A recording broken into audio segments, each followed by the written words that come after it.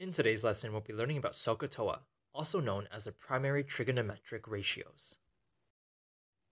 In a previous lesson, we learned that SOHCAHTOA is just a mnemonic to help us remember the primary trigonometric ratios. The SOH in SO helps us remember this ratio. The CAH in KA helps us remember this ratio. And the TOA in TOA helps us remember this ratio. In our first example, we have a right triangle. We're trying to find y. In other words, we want to find the length of this side. Before doing any calculations, let's make an estimate. Well, if this side is the hypotenuse and it's 28 meters, that means this side must be less than 28 meters since the hypotenuse is always the longest side.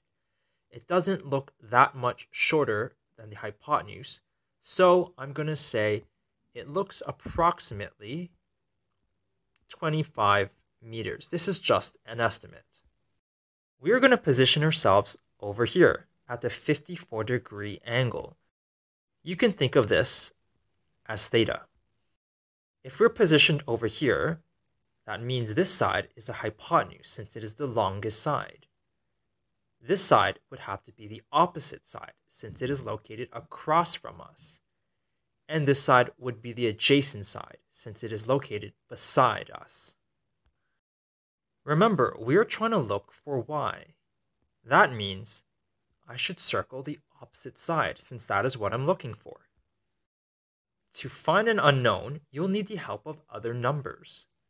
We know that the hypotenuse is 28 meters. That's going to be helpful. So let's circle the hypotenuse side. At this point, look at the three trigonometric ratios carefully. Which one contains both hypotenuse and opposite? You'll notice that this ratio, the sine ratio, contains both opposite and hypotenuse, and that is the ratio that we'll be using. I want you to look at this ratio. We're going to replace theta with 54 degrees. Then we're going to replace opposite with the letter y. And last, we're going to replace hypotenuse with the number 28. On your calculator, I want you to find the sine button. If using a phone, you may have to turn your phone sideways. I want you to punch in sine 54, or you may have to put 54 first, then press the sine button afterwards. You should get a very long decimal. I'm going to round this to 0.809. Everything else is going to stay the same since we haven't touched it yet. But how do we find y? How do we find the length of this side? Well, I'm going to show you a little cheat. You're going to draw a line under 0.809. Then you're going to draw a 1. Now, why am I allowed to do this? This is because this line and 1 means the same thing as divide by 1, and anything divided by 1 stays the same.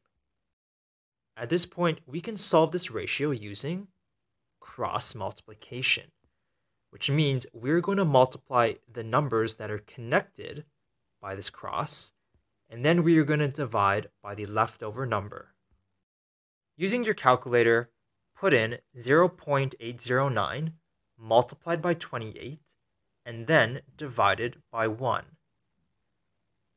You should get something close to approximately 22.7.